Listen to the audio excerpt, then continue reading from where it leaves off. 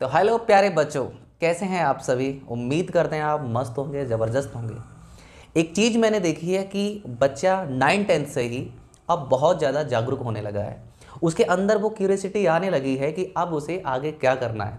लेकिन मोस्टली मैंने देखा है कि जो बच्चे नाइन टेंथ से बहुत अच्छे से अपने आप में थोड़े से सिक्योर हो जाते हैं कि आगे उन्हें क्या करना है डेफिनेटली वो अपने सफलता का परचम लहरा देते हैं। और उसमें सबसे ज़्यादा जो मेजॉरिटी है वो बच्चे जा रहे हैं मेडिकल फ़ील्ड की तरफ़ इंजीनियरिंग फ़ील्ड की तरफ़। और इंजीनियरिंग फ़ील्ड और मेडिकल फ़ील्ड मेडिकल फ़ील्ड में अगर आपको जाना है तो जेई और नीट ये सबसे ऐसे दो रास्ते हैं कि इनके बगैर गुजरे आप आगे नहीं जा सकते। और उसमें बहुत अच्छा खासा एक्सपीरियंस है हमारे नफान सर का। तो आफान सर आपका बहुत बहुत स्वागत है आज हमारे।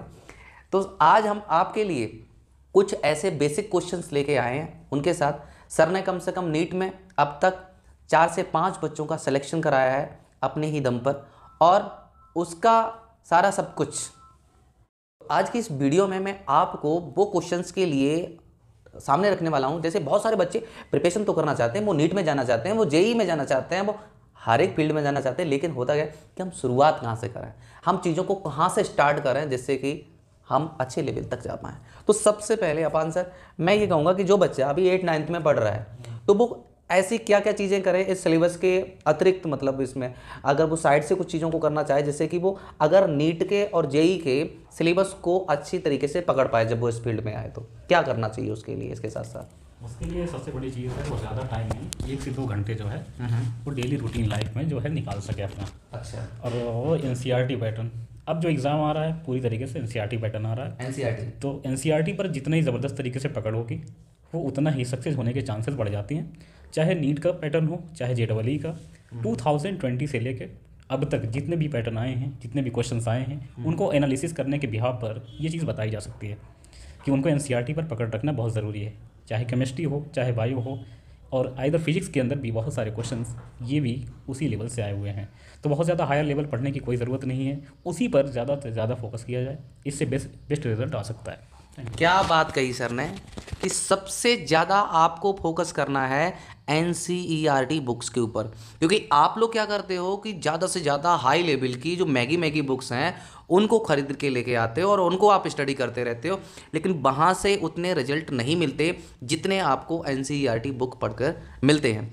और सर ने एक बात और बताई कि कई सारे क्वेश्चन ऐसे होते हैं जो एनसीईआरटी के जो एजिटेज आपको देखने को मिल जाते हैं। तो आप एनसीईआरटी बुक्स तो सबसे पहले आपके जो सिलेबस में अभी पढ़ाई जा रही है, आपके सिलेबस में, आपके अकेडमिक लेवल पे जो पढ़ाई जा रही है, उन पर आपको ध्यान देना है।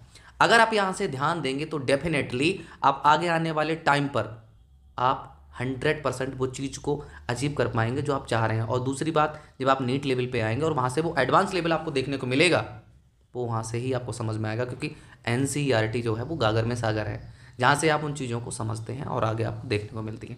एक चीज़ और सर कुछ बच्चे क्या होते हैं जैसे कि बहुत सारी किताबों को पढ़ते रहते हैं तो उन्हें कौन कौन सी ऐसी किताबें हैं जिनको अवॉइड करना चाहिए पढ़ने के लिए? पहली चीज़ है अपने टीचर पर आपको कॉन्फिडेंस रखना है। और साथ में आपके जो P Y Q previous year question हैं उनको लगाइए। जो नीट के क्वेश्चन आए हुए हैं, उनको लगा लीजिए। और बहुत ज़्यादा क्यूरसिटी है अगर, बहुत ज़्यादा आपको लगाने की कोई अगर चिंता हो रही है तो आप लगा सकते हो जेड वाली का अंसालो मेंस तक ही मैं एडवाइस करूँगा मेन से ऊपर मत जाइए। इतना ही बार बार करते रहिए। आप जितनी बार उस सिलेबस को कवर करोगे, उतना ज़्यादा आपकी प्रैक्टिस होती जाएगी और उतना ज़्यादा आपका कॉन्फिडेंस लेवल बिल्डअप होता जाएगा। यानी कि प्रैक्टिस मैक्स मैन परफेक्ट अभ्यास ही इंसान को निपुण बनाता है। तो आप ज़्यादा से ज़्यादा प्रैक्टिस करिए। पी वाई क्यू जितने भी हैं, उनको लगाइएगा। वहाँ से आपको बहुत सारे एक्सपीरियंस मिलेंगे। और ये पता चलेगा कि जो पी वाई क्यू से कि किस लेवल के और कौन से क्वेश्चंस रिपीट हो रहे हैं और कौन से कॉन्सेप्ट से बार बार रिपीट हो रहे हैं। तो अगर आप आई आई टी जेई में जेई के थ्रू अगर आप आई आई टी में जाना चाहते हैं तो आपको बहुत अच्छा विकल्प होगा। और उसके साथ ही साथ अपान सर का एक यूट्यूब चैनल है। यूट्यूब चैनल का नाम क्या है सर आपके? NEET mission chemistry NEET mission chemistry. अगर आप अपनी केमिस्ट्री को स्ट्रॉन्ग करना चाहते हैं तो आज ही NEET mission chemistry YouTube channel को सर्च करिएगा और आज ही उस यूट्यूब चैनल को आप सब्सक्राइब कर लीजिएगा। साथ ही साथ वेल आइकन के लिए दबा लीजिएगा। यहाँ पर सर फ्री ऑफ़ कॉस्ट आपके लिए जो क्लासें हैं वो लेके अभी सर फ्री ऑफ़ कॉस्ट चल रही है ना? अभी फ्री ऑफ़ कॉस्ट आपके लिए क्लासें मिलेगी है ना? Till the April till the April तक यानी कि अप्रैल तक रहेंगी। अप्रैल 2024 तक? 24 तक आपको ये क्लासें जो हैं वो फ्री ऑफ़ कॉस्ट मिलने वाली हैं। इसके बाद? इसके बाद नया सेशन स्टार्ट हो जाएगा। नया। फिर कुछ क्लासेस फ्री होंगी। कुछ क्लासेस आपके लिए फ्री होंगी जो बेसिक क्लासेस हैं वो आपको फ्री होंगी लेकिन जो मेन सिलेबस है उसका वो आपको पेड होगा। तो अब तक आप जल्दी से इस यूट्यूब चैनल को आप सब्सक्राइब कर लो और आपके लिए यहाँ से बेसिक चीज़ें जल्दी से जल्दी अच्छी समझने में मदद करेगा ये यूट्यूब चैनल। दूसरी बात एक और कहना चाहूँगा।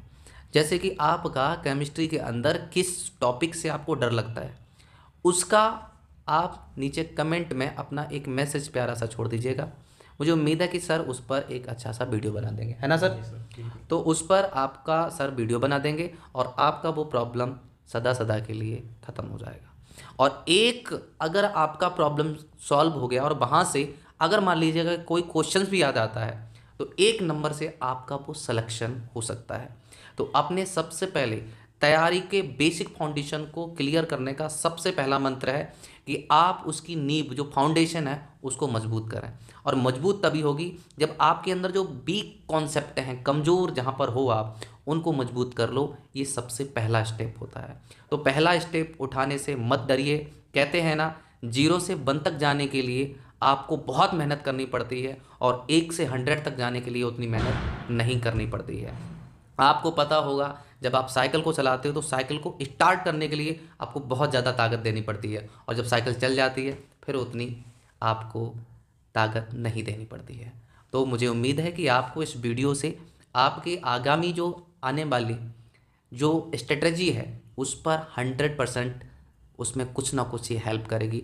और आज के बाद मैं आपसे इस चीज़ का वादा करता हूँ कि आपको केमिस्ट्री से रिलेटेड कोई भी प्रॉब्लम नहीं आने वाली।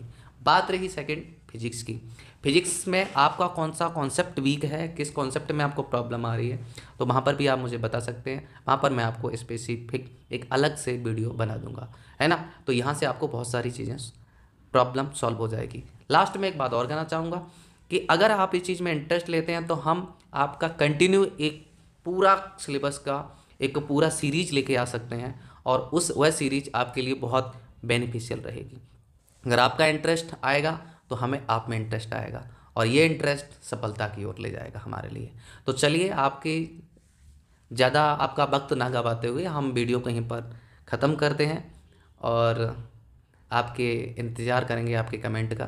तो चलिए थैंक यू धन्यवाद।